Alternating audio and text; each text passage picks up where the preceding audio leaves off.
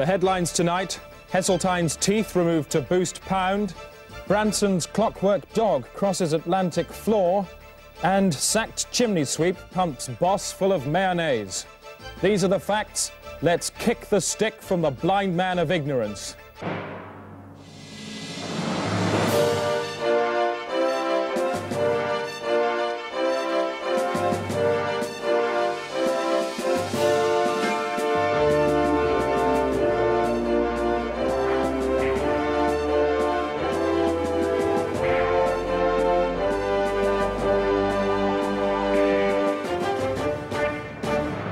Welcome. On the Day Today tonight, David Owen emerges shattered from Oliver Reed. I, I don't think I've ever seen anything quite such, uh, so totally wanton, uh, ghastly, mess, terrible. And John MacGregor describes how he was reassured by the king of an alien spaceship that mankind's survival was not threatened by their plans to blow up the Earth. He has suggested one or two steps which we ought to take, all of which we've taken, uh, which he describes as dealing with a remote theoretical risk, but we've taken them in order to ensure that there is no risk to humans. London Transport say they may have to close the underground system because of an infestation of horses. A report published yesterday described the effects of the equine plague as like an abattoir in a power cut. Ted Maul reports. For years, the system of tunnels and shafts has harboured a small population of wild horses without bothering the commuters. The only pest control necessary was performed by the teams of fluffers, who to this day remove clots of hair from the tracks. See, see the hair? Then in 1970 came the crackers, special staff who had to patrol the darkened tunnels every day and kill the horses with hammers. But now say officials the horses have become a menace. Due to a large pile of horses blocking the line at Marble Arch, all services have been cancelled. Many of the drivers are heavily traumatized. Only one today could describe the conditions. Loads of horses, at least, at least 30 I'd say. As the train approaches, they start running away from the train. Stampede in the opposite direction, like. And what the drivers say they fear most of all is a head-on collision with a blind tube mare. Well, it's instant death. Uh, it comes straight through, the, straight through the cab window, crushes you to death. Personally, I think the management should round them up. Get rid of them. And in a statement issued just 10 minutes ago, the Home Secretary announced that he personally will be going into the tunnels this weekend armed with a special gun.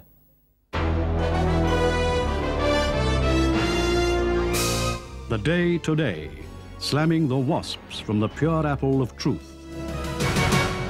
It's 5 to 10. Time for sport. Hello, I'm Alan Partridge, and this is Sports Desk. Football. And Nottingham Forest may soon be Nottingham D Forest if coach Liam O'Kane has anything to do with it. He's ordered the entire team to shave their groins in an attempt to enable greater laminar airflow and reduce buckling and weaving of the tendons. The newly depilated men will be shown off to Nottingham fans this evening. On to tennis now, and the sensational young Bulgarian protege Mila Milandrovic was wowing everybody in Southampton this afternoon as she prepares for the finals of the Ordnance Survey Maps Cup. I was lucky enough to catch up with her this morning as she was practicing with some nets. You are from Bulgaria. Bulgaria. Bulgaria. I can imagine when you were small, you were probably taken away from your parents and put in a sports camp. No, my, we had the tennis court at my house, and my father was my coach. You weren't put in a sports camp and trained into a tennis machine. No, I went to school. It's normal. I, I would work a lot. You must be devastated for your countrymen who are subsisting on a diet of bread, potatoes, water, and uh, I don't know, beer. Um, do you feel guilty? No, people eat. Most of your countrywomen tend to have affected a kind of, well, a moustache. And you, I have to say, have got a very, very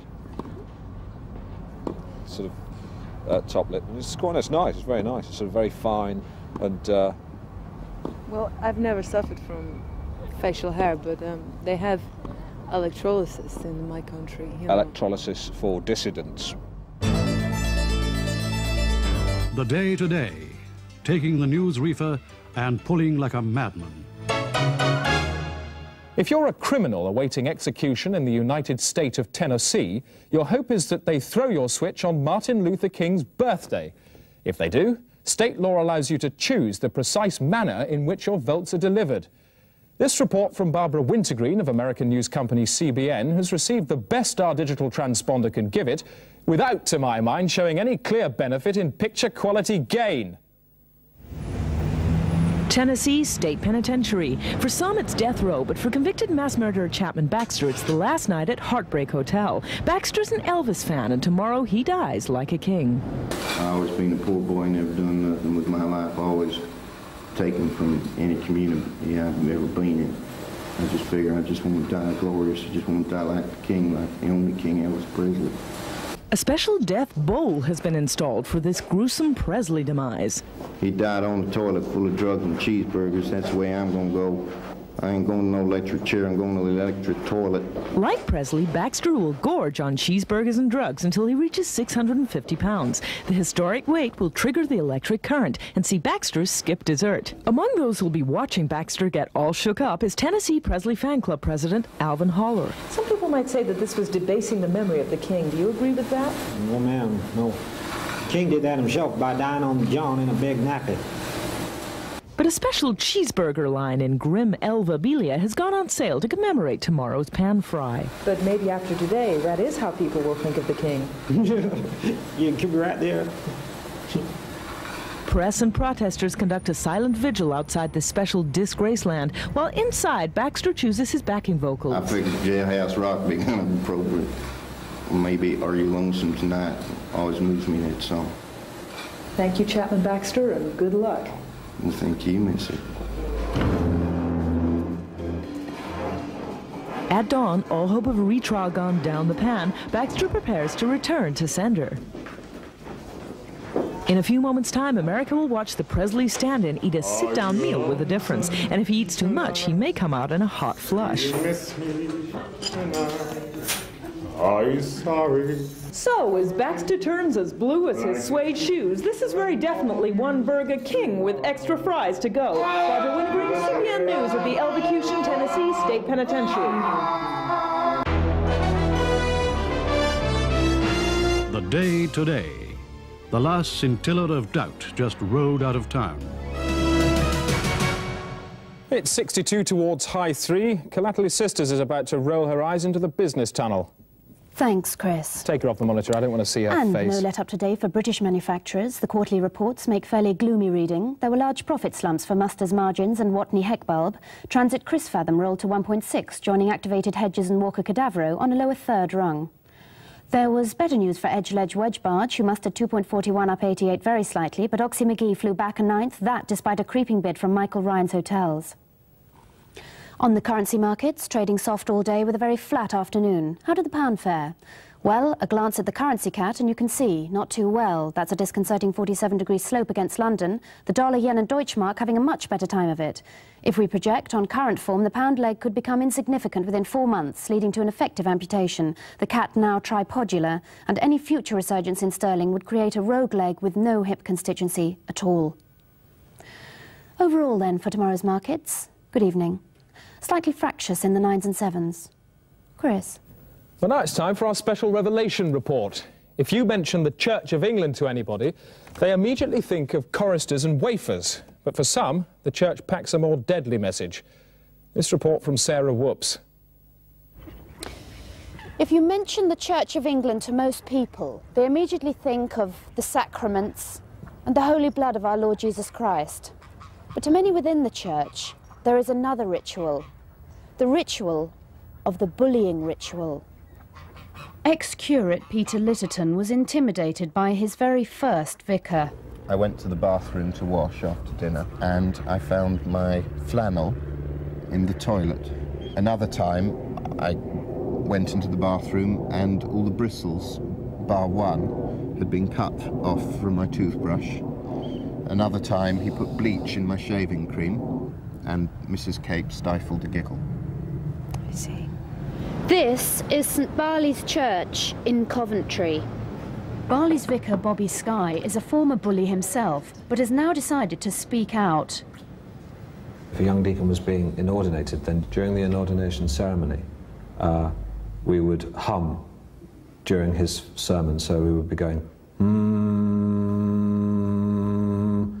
and he would be trying to speak um, and not knowing who was humming. And we, How many we, of you were humming? About 200 of us, 200 vicars, all going, mm.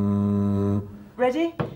Bermuda Triangle. Heather Collins has done a lot of popular work in the community. She too has felt the pain. I wasn't trying to eavesdrop at all. I was just getting on with my work, and I could hear the bishop was taking Colin through the steps of a christening for the next day. He then took Colin by the sort of the scruff of the neck and said, I'll show you how to do a christening. I'll sodding well show you. And he just pushed his head towards the font. I said, don't do that, don't do that, this is ridiculous. And he said, I'll do a sodding sight more than that. And he just rampaged around the church. But while some are brave enough to speak out, others are still quietly being beaten up. Here in the vestry of St Champs in Coventry, we secretly rigged up one of our cameras to record some bad ecclesiastical hurting. Hello, Paul. Evening, Bishop. Evening, Lady. What are you doing? Just tidying up after the service. So you've been folding that cassock. Do you think you've folded that properly? Hmm? Um, Hmm? What do you think? I'll do it again. What you call him? Answer the What you call question. him? Bishop. Now, did you fold it properly? Uh, I thought I'd folded it. I Naughty thought I- Paul. I thought I'd folded it properly. No, I was collecting up the hymn books, books, very well, these exact books. Yes. And I was stacking them, like so. Yes. And I'd stacked up to my chin. I see. So I was at fu- uh, really at full stretch with about 30 hymn books. And he said, Come on, Peter, you can fit another one in there. I said, No, I, I can't, Reverend Cape, I really can't. And he pushed one in. He said, You can fit another one. I said, I can't. And he pulled my hair right back. I have seen Reverend Harris lift altar boys off the floor by their nostrils. What's that? What's that? What's that? What's that? What's they all fell on the floor and he said, Pick them up, pick them up, pick them up, Yes. pick them up. And then he ran along this pew, like that, and threw the books. Pick them up, pick them up. You do look a rather foolish boy, Paul. Clean it up. I'll be back later. The bullying has got to stop. Stop the bullying. Start taking care of your flock. Pick on someone your own size. God's bigger than all of us. The time is almost exactly 17 minutes past nine. And that means that there are 3,416,400 minutes left till the end of the century. And that's the amount of time five critics and cultural commentators in a sealed studio in Kensington have to keep talking. They're called Debate 2000, and in 1990 they embarked on a 10-year discussion designed to pull into focus everything that modern man has achieved. Debate 2000 is available exclusively to the Day Today through a triple-screened green cable which terminates in this studio's far left-hand wall. Well, let, let's ask then, what is a mm. novel?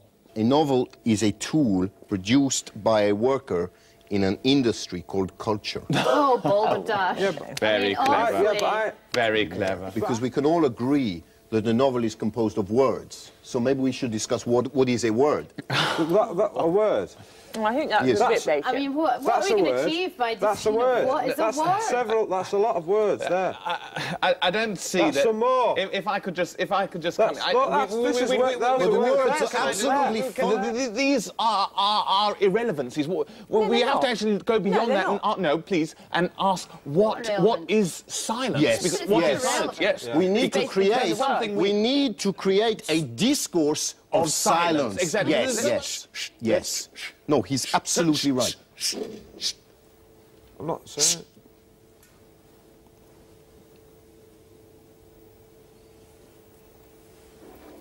Right, if we could just move on. Oh, on. no. trying to Well, we explore were trying to Yeah, establish but it. we weren't But- going no, we- on. talking Yeah, but we and weren't ready to just move on. Chattering away, can't you just be quiet? You're Just not spitting on me. Debate 2000 showing that in Europe at least there's no disagreement about trading words. Time now for Sports Desk with Alan Partridge. Alan, you're a bit of a word man, aren't you? You like to feel a word. Um, I don't mind. I, I certainly words, uh, where would we be without them? We wouldn't be able to communicate, and uh, certainly always handy when you're having a conversation. Yes, words. What do they feel like when they come out of your mouth? What? What does a word feel like when it comes out? It's, well, it sort of, whoa. yeah, but does, does a long word feel different to a short one? Yeah, certainly. Long ones. Right. What about significant words? How do they feel? Alan. What? Well, how, do, how do significant words feel when they come out? A long, really long ones. Like, are they different in texture yeah. to? Yeah. Hello and welcome to Sports Desk with Buttress me. is a yes, significant mm, word. Yeah. Alan Partridge. And it's a special desk of sport now as we look back on some of the sporting highlights of the past sports season. So lie down, relax, and let these sports commence. When it's cycling championships you're after, you can't say fairer than the Tour de France. Di Brandauer there in the lead, swaying from side to side in his own inimitable bike riding way. Klaus Bin there on the inside, pumping away with his with those gristle-like muscly legs inside the those tight lycra shorts, which have become his trademark. And I don't know what this man is playing at. There's no way. Surely the judges must come down like a ton of bricks on that. Carrying bikes on top of a car is not a sportsmanlike way to run this race. You join me in the helicopter now as we look down on these cyclists that look somehow like cattle in a mad way, but cattle on bikes. And there's Sven Gunsen, closely followed by his great friend and teammate Klaus Bin. And the man with the bikes on his car is, yes, he's disqualified, as I said. And uh, Klaus Bin there wins, riding non-handed. No need for that. And it was upsets all the way in the dive championships. Greg Lagani, down, double back twister, bangs his head in textbook, lovely. Let's see it again. He boings down, up in the air, double back twister, comes down, bangs his head on the board and in, lovely. The judges surely will give him high marks for that. And how's this for a tumble? There she goes. Bounce, flip over and over and over, and then down, and then back and over and over and over and over, back and over and over and up and down. That bit with the hands there, not so good. I mean, I can do that. But for my money, the best punches were being pulled this season in the boxing ring. There, round four in the middle of it here with the, uh, the plucky Liverpudlian and the uh, ginger boxer, as he's affectionately known to me. Thank goodness, actually, they're wearing gloves because I've witnessed bare knuckle boxing in a barn in Somerset about three years ago, and it was a sorry sight to see men goading them on in uh, such a barbaric fashion. And I'm rather ashamed to say I was party to that goading. And uh, two men fighting, as I saw in the barn that night, naked as the day they were born, and fighting the way God intended. Wrestling at points. I don't know if you've seen Women in Love, the marvellous scene by the fire. It uh, kind of resembled that. I'm Alan Partridge, and that was my sporting season. Why don't you join me again for another one? Join me. Matters green now. Rosie May's Enviromation. Greenosphere. This is Rosie May with news from Green Earth, and Britain is soon to have its first portable cemetery. The cemetery, which opens to the size of a football pitch and features real soil, can hold up to a thousand corpses. The portable cemetery saves waste. Green on. Scientists in northern Canada have found a large hole in the horizon. The gap separating the sky from the ground has been measured as much as one mile high. Experts have temporarily tethered the sky to the earth with large winching ropes, but there are fears it could snap apart in the spring. Green. Take a look at this. Are you a qualified welder? Okay, yeah, I've got I've got an HND, which Really? qualifies me to weld. Yeah. That's marvellous. Oh, brilliant. So you Yeah. could, like, rebuild the underside of uh, any car if it was, like... Sh- I'll do sh- oh, I can do chassis rebuilds. I think that's the most I'll check it brilliant talent to have. Definitely. I think that's one of the most brilliant talents of to have. creative, though. It's just fantastic. Not just common you. sense. No. This is all very get used to it. interesting, I'm sure, important. but we have an agenda. We'll talk about all your stuff. It's, Just having a bit of a talk exactly, now what we I it's know. know. not my stuff. It is all It your is stuff. the stuff. What do you mean this stuff? The stuff that we are supposed to talk about. No. There's, It's- it's not the, the my agen- no, stuff. no, no. The agenda is not so fixed as that. Sure, What- yes, what but the agenda does not uh, include motor maintenance. uh, That's not what it's motor- about. We, we might be. Motor we- we- maintenance leading on is to- life, mate, whether you like Leading- it or not. It's You haven't A got to motor B. maintenance, you're not gonna get anywhere, are You might be leading. Well, you, you've got a problem. I've not got a Please, we've got another I've eight got- I've- years. I've- we don't not want got a petty problem with you at all. No, I don't have. This is not a personal issue. It's not. not- You're personalising it. all looking the- at me I'm not looking looking at you in any way whatsoever. I am not looking at you at all. Bonnet!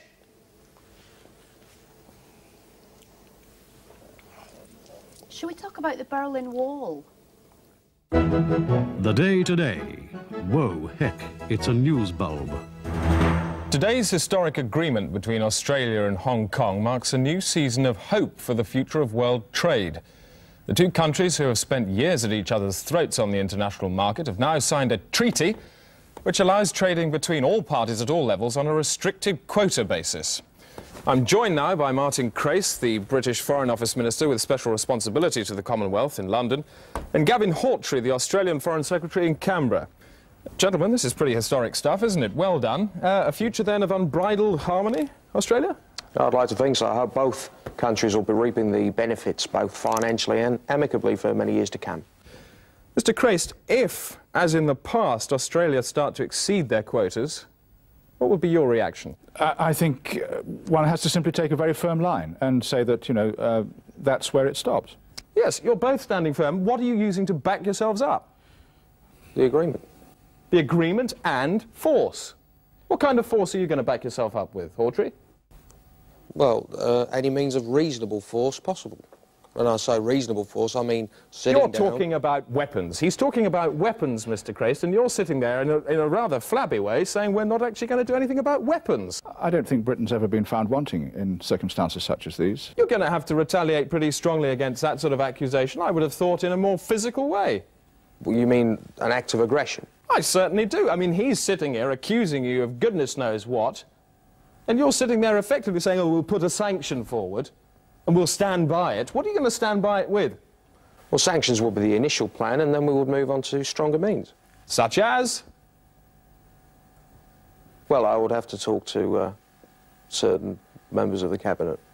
About? Uh, military matters. And that's all.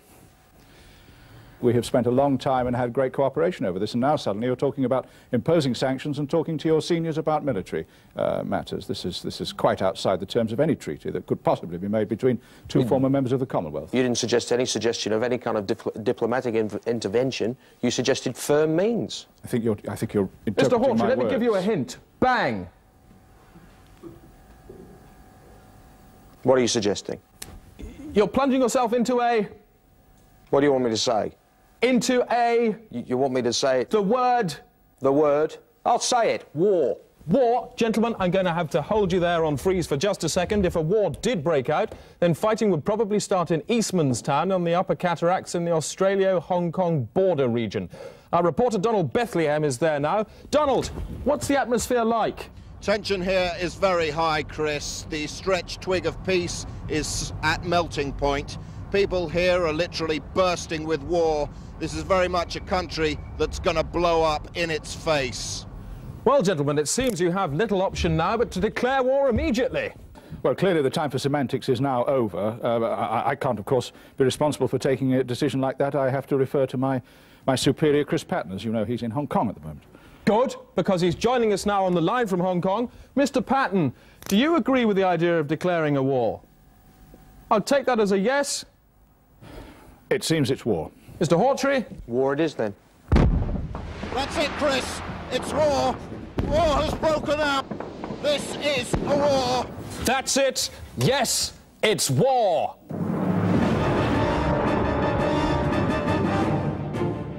Coming up over the next 20 minutes, we'll be monitoring the progress of our own flotilla of smart bombs, foremost among these with a nose-mounted camera, smart bomb Stephen. On hand throughout tonight's broadcast, Douglas Hurd. And on the front in Eastman's Town itself, newshound Donald Bethlehem. And with over 130 satellite informometers, an even broader swerve of ground-based news operatives, and the worldwide backup from the Factordelics, the day today will keep you far more firmly abreast of the war than anyone else by miles. First, the weather with Suzanne Charlton. Basically, we've got very movable uh, weather systems. Oh. Movable weather alert. We're all at it this morning. It was four seconds, that one, Huge well. airs of clouds sweeping across her. the It must be country, difficult to and see with your head occasionally, that of course, your that means between them we get some clear skies, which is much situation across In much situation, the that's another one. of England and Wales and She Scotland. does one more, get her off. many areas, Get her off, a bright or even a sunny first thing this Sunny morning. first thing, right, Let's that's it. concentrate Take for time though on Kill the Scotland. Back now to Eastmanstown. Our man on the ground there, Donald Bethlehem. Donald, what is the latest? As I swirled the last traces of toothpaste from my mouth this morning, a soldier's head flew past the window, shouting the word victory. Have you actually seen any of the fighting yourself, Donald? Today I saw an old woman on the ground. She was lying in a pool of her own tomatoes. Donald, there seems to be some action going on immediately behind you. Could you take yourself closer towards it, please? Yes, Chris. Righto, Uh, go in here. bit. No, a bit further back, please, Donald. Uh, I feel very near here. Yes, but you're not near enough. Could you take yourself closer Here? still? No, I want you to be so close until you can smell the news. I'm sorry, Chris. Uh, I think I've been shot. I, I am shot. I am shot. Yes, well, could you could you describe your wound, please, Donald? It's it's in the lower back above my leg. It's it's uh, it hurts. It, What about the level of pain? How much pain? How much uh, pain can you feel? substantially. It feels like I've been shot with a big knife. Ah! Now, it's customary for a journalist in your position to give us some sort of joke. What's yours? It's quite ironic, Chris, because this morning I was saying, ah, Ironic. oh God, help! Ah! Well, I'd just like to assure you that Donald Bethlehem is perfectly all right. The Day Today. Come, give torch to the news shag. Good evening. This is the Day Today live from the war. We've moved our operation into the battery zone. Progress on smart bomb Stephen, good. And we've already seen a lot of fighting on the ground here. Earlier on today, we had to slip the clutches of the local militia, which we did by fooling them into standing guard over models of ourselves made out of biros and notepads, and then smuggling our bodies out inside some hospital beds. This report on the day's fighting I made short moments ago There's something about the way these people move that tells you they are a nation at war. Look into their eyes and you can read the words, I have a reservation at the restaurant of death. It's a messy bistro with a bad name for soiling its customers' clothes. We've seen only one napkin in four days. As course after course piles up in the banquet of brutality, it's difficult for many of the clients here to relax. Those that don't leave go as mad as a pack of wild dogs. This man we found this morning pitifully trying to catch bullets in his mouth. They haven't turned up yet. We seem to be the only ones here. With the air thick and rippling with bullets, everybody's nickname here is either Duck or Ah. I too now have a wound, just a small part of the unnecessary damage which could have been avoided altogether if the politicians had got it right. The people here are confused, spending most of their time running about like idiots. Earlier today, we met a family who, thanks to this war, now have no home. A war which they feel anyway has nothing to do with them. We are mere pawns in a political game, trapped in the physical manifestation of a nonsensical clash of mere ideals between two governments tragically isolated both from their electorates and the guts on your shoes reality of armed struggle. That boy is now a war orphan, one more victim of what they call here the desert confetti. I have a child about his age myself. When I phoned him 10 minutes ago, I told him to move out of the house to make room for his new brother. Back now to the Day Today smart bomb. Get rid of Hurd. Thanks. How is it for Smart Bomb, Stephen? Well, we can see now he's zooming in over the landscape. He's almost caressing the land there. This is a city full of people and soldiers. There's one. There he is. It's into his mouth, past the esophagus, down through the... uh, Bang! Bang! Completely gone. Uh, no, we didn't hear the bang, of course, because the microphone is taken out in the heat of the explosion. But there, nonetheless, is one more tear on the face of the world's mother, Alan Sport. Thanks, Chris. And now some late night soccer results. I'm Alan Partridge. This is Division 2. Hull Paragraph 5, Portsmouth Bubblejet 1. Sheffield Hysterical 3, Chunky Norwich 1. Richmond Arithmetic versus Nottingham Marjorie match postponed due to bent pitch. Good night. Still to come, Douglas Hurd, but not yet. Because as Britain is dragged hopping and burping into this conflict, how do our elected guardians justify the enormous cost? Some say the Minister for War has been avoiding the press for precisely this reason. But earlier on today, the Day Today tracked him down, and I spoke to him in an exclusive way. Mr. Powley, you're the new Minister for War. Any idea how long it's going to last? Um, well, I hope not very long. I should say about 18 months, I hope. no more. But nonetheless, you took the decision. That's right. We had to take the decision. Was anybody in Cabinet against it? Um, well, I should say yes. Can you name names? Not really. I understand your position. Looking at the tactics in the war, what tactics will you be adopting? I would say go over and bomb them because really ground hands fight. over your ears. Yeah. So what's your scenario? You say 18 months, who's going to win? I should say the, the British would win. Can I put you on the spot and ask you to address the nation and tell them that we are going to win the war? Definitely. Definitely. Can you say that to the nation through Yes, the I would. Yes. I'm assured the nation will win this war. Minister, thank you. I'm now in transit over Eastman's Town. Susanna Gekalois is already there. This is the very heart of the conflict. The men here have been fighting non-stop for three days. We drove in at night, straight into the middle of a rocket battle. The air now is thick with what they call here the electric cornflakes. We're under strict instructions not to leave the vehicle, but to drive on through. With no cover, we ran across open space to a nearby house. There are always casualties in war. This man was injured and we had to act fast. We found a family sheltering in the back room. We had no tongue in common, but through the universal language of mutual need, I knew she was saying, Come, set your equipment up in our refuge. The world must see this mess. These brave people are now sleeping, but they know that tomorrow our aerials and transmitters could make this house a prime target. Chris. Back to the war now, and in the noise and heat of what they call here the flying scissor beans, there is no optimism, or at least wasn't, until just two minutes ago when we received these pictures of a miracle from the front line less than a mile from where I'm standing.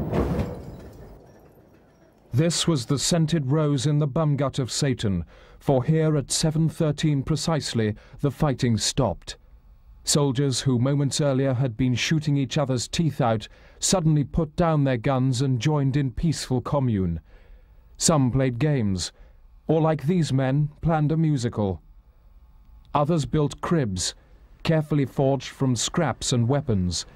It's Christmas here, though you wouldn't know it from the smell. The reason for this outburst of calm lay inside a shed, for here the massed forces of two world powers were unified by nothing more than the distress of a cat stuck on a high shelf.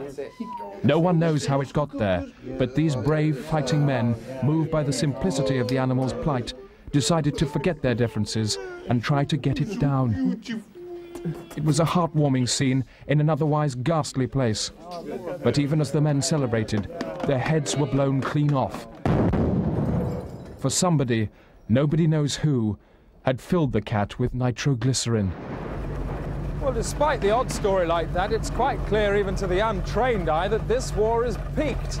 There follows little now but the inevitable plague of refugee and human interest stories which tend to spew out in the wake of such conflicts. We'll leave a skeleton staff here to deal with that. I myself am back to London because I've had quite enough of this sickly guff. Mr. Hurd, thank you.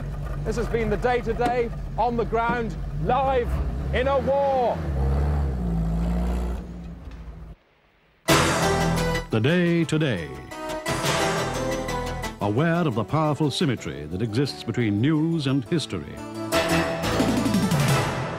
And just time to look at some of tomorrow's newspapers. Drowned Italian wins Eurovision, that's today. The Mail go with Aristocrats Dung saves village from flood. The Mirror, Lord Mayor's pirouette in Fire Chief wife decapitation. The Sun, Robin Koch. And the New Zealand Prendergast lead with Russia elects Cobweb. You'll notice, incidentally, that the Wheeler cartoon in The Independent has There will never be another war again, referring there to the Prime Minister's conference speech. And the Wheeler caption, Yes, there will, and it's happening now. That's it. That's the day today, on the day that Boris Yeltsin told the world how he milked Mrs. Thatcher. Flappy breasts. Good night.